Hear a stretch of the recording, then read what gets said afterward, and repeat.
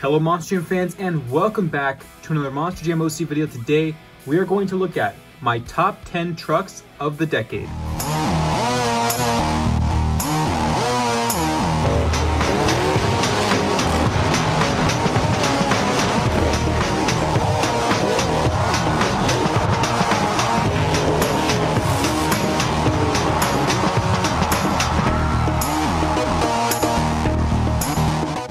Welcome back everyone. Today is a very, very special video. This is one that I likely won't even be making in the next decade because I don't know where I'll be at the time and what I'll be doing, but this is a very unique time that we're in with not only diecast, but also in history itself. We're given this, again, unique time to do a decade review of our own hobby, which is the Monster Jam diecast world. Uh, I guess actually you could say now Monster Truck Diecast World because there's many different things happening in it. But I was told by my friend Phil, uh, who is the admin of the Monster Truck Collecting Facebook group, he told me, or nominated me, I guess you could say, to do the top 10 trucks of the decade. He wanted me to be fair to all the different lines alike uh, in the 164 scale world, omitting green light though, because I don't have many green lights. Uh, so I have narrowed down my top 10 of the decade. There are no honorable mentions. These are the most accurate, best presented, best ideas, best built. All this factors in for my nominations here today. Also, I want to note that there are four different diecast company lines happening here. We have Hot Wheels Monster Jam, which uh, from 2010 to 2019, or I guess you could say 2018 because it did finish off in 2018. So 2010, 2018, I only have two of them in this video. I also have one Matchbox Monster Trucks, and then I also have one Hot Wheels Monster Trucks and then five because I just honestly, it's hard to look back and see things when they've already been corrected by Spin Master. We have five Spin Master trucks, which I think are the best of the decade. Uh, even though they only had a year in this decade so far, or at, at all, because it's 2019, 2020 next year. Uh, they they really pushed hard this year, but they did get a lot of uh, recognition from me uh, in my old collecting viewpoint. This is not a biased viewpoint. This is actually looking at it as a collector, as someone who used to criticize these uh, products for inaccuracies. This is how I'm looking at it today. So at number 10, we have Hot Wheels Monster Jams Exterminator. Uh, also, these are not going by rarity at all. Uh, these are just because of accuracy, like I said, and all these different things. So number 10 is the Exterminator by Hot Wheels Monster Jam. Although it was only released outside of the United States, it still has one of the most accurate paint jobs that Mattel was able to produce during their time. There are a few things about it that aren't perfect to the real truck, but for what it is and the decos and all the stuff that it features, it really is a really great piece. And I don't know if we'll be seeing this in the future from Spin Master. So if this is the last time we'll ever see it and only time, I want to definitely nominate it for the top 10 truck of the decade because it does deserve that recognition for being one of the only ones ever produced so far. And it, it really is cool. It's one you don't see very often and I like how they did it and I'm very happy with it. So Exterminator is number 10 on the top 10 trucks of the decade. And at number nine, this will shock you, I'm sure. And it's funny how it has a nine on it. Uh, it is the Matchbox Monster Trucks trash truck. I don't remember the actual name for this truck, but this is one of the Matchbox Monster Trucks that they produced in, I believe it was 2016. I could be way far off with that, but they had a very short amount of trucks that they produced from the Matchbox series Matchbox is owned by Mattel, so they use the same tires and rims as Hot Wheels Monster Jam did. So I did collect all of them during the time. They're actually really cool pieces. They have functioning uh, actual mechanics on them, so that's really cool. But if you guys remember this, and this is really far back in time, if you guys have watched my channel for a while, you know that I've always wanted a trash truck monster truck. And also, I've heard this you know, told to me in my comments and also kids around all want trash truck monster trucks. So when they produce this, I was like, this is awesome. It's actually one of my favorite trucks in my collection. So number nine, produced during this decade, is the Trash Truck Monster Truck by Matchbox. Again, one of the coolest concepts. Spin Master needs to hop on this with Monster Jam. They really got to produce one. Uh, I know they can do an awesome job, I'm sure with some cool decos as well. But for what this is, it is a trash truck monster truck. I mean, here it is for the first time and only time ever, an actual front loader garbage truck. So number nine out of the entire decade is the Matchbox Monster Trucks trash truck. And at number eight, it is the Hot Wheels 68 body for the 19th World Finals. This truck actually is very accurate to how the real truck looked. It's one of the only models that Mattel really got perfect. Uh, it's although there is an inaccuracy in the grill, they did not do the correct grill printing. Uh, for the entire casting itself, it is for the most part, exactly how the real truck looked like. People were actually surprised that they made this body in real life because it's kind of an intricate looking body, but they did. Uh, it was awesome. It really was a great looking truck and they did a great job with their die-cast vehicle of it. They did a Golden Machines one as well. And there's not much to complain about. Honestly, it's a really great truck. So uh, number eight on my list is the Hot Wheels 68 World Finals 19 paint scheme. And at number seven, we have Hot Wheels Monster Trucks Demo Derby. I am not the biggest fan of the Hot Wheels Trucks line so far, uh, and there are very few that I really, really like.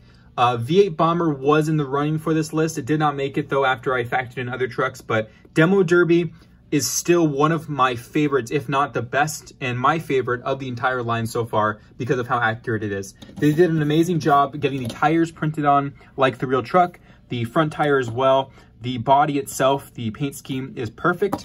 Uh, they did not do the grill printing like the real trucks, but this is the Hot Wheels Monster Trucks Demo Derby. They did an amazing job with the actual decos, with the paint on the tires, and I'm really happy with this piece. It's one of the best ones they've produced so far. And now we enter the realm of Spin Master. At number six, we have the Nomad Avenger. For the first year, they went all out, putting out everything they could to make this line much better than the previous years. So Avenger, Nomad, World Finals 19 paint scheme, they actually did get it done in their first year. The only thing I complained about with this truck is the fact that they took off the hood printing. That really should have stayed on. They should have pushed harder for that to stay on. Uh, that's why this is number six. If this had the actual printing on the hood, it would be number two on my list. So that's how far down it dropped because of that. But besides that little detail, uh, I guess not little, but that, that detail, the rest of the truck itself, the casting overall is amazing. They did go all out. I mean, it really truly is the one of the best ones of the decade.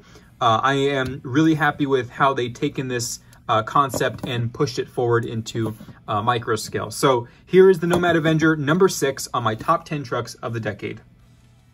And this one might also be a shocker. Number five, the Monster Mutt Husky, a concept that came out of nowhere just at the end of 2019 and is now one of my favorites of all time. It, really is a beautiful truck. They took a Monster Mutt casting and they reformed it with new ears and a tail to completely change a dog's personality and produce a new breed of dog that they have never done for Monster Mutt. So Monster Mutt Husky, the paint on the tail, I love how it's a gradient from gray to white. I love the shape of the tail as well. It looks just like a real Husky. The ears also going from, instead of the laying down ears like the typical Monster Mutts have, they actually went up with the vertical ear dogs. There are a lot of them.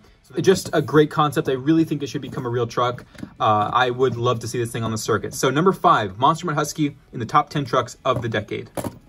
And at number four, there is no doubt that Mystery Machine deserves some recognition here. The Mystery Machine was a surprise concept by Monstrum and Spin Master. They produced it with Scooby-Doo, which also just fell short of the top 10 trucks of the decade because of the Hot Wheels Monster Trucks. You will likely see that one return in my top 10 Spin Master trucks of the year, but this is the Mystery Machine, and they did a giant casting. It looks just like the real truck in the cartoon.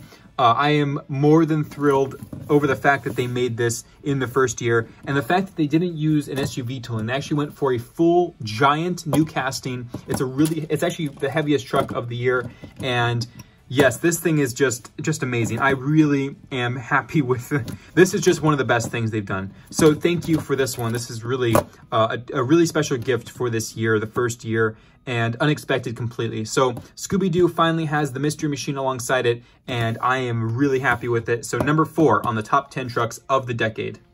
And now we enter the top three. These were difficult choices to sort out, but the third top truck of the decade is the Cyclops. Cyclops features for the first time its accurate casting to the real life truck that's currently running. It has the eyeball in the hood here sticking out. So you can see they did an entirely new casting, grill printing, everything on here just to get this truck as accurate as possible. It has the eyeball, it has the silver roll cage, gray rims, and just overall, just an amazing truck. I still can't believe they got this done. And at number two, these were hard choices to pick, but Big Kahuna made it up in the top three of the decade with this casting. This was insane. So when Spin Master first announced and Shane England hinted at Big Kahuna being made, we were all wondering if they were going to do a normal pickup truck like Mattel did, or if they were actually going to go for the full casting. And turns out, to our complete surprise, they did not only the accurate C10 casting, but also the dual surfboards on the back for Shane England. He requested them.